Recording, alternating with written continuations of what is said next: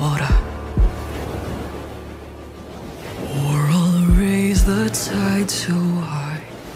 One of it, the cold will die. Get in the water. Wait. Get in the water.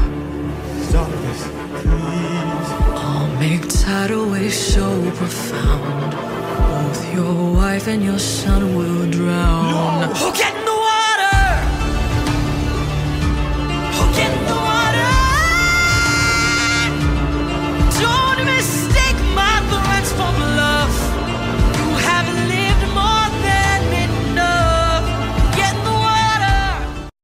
I just needed you to know. I love you.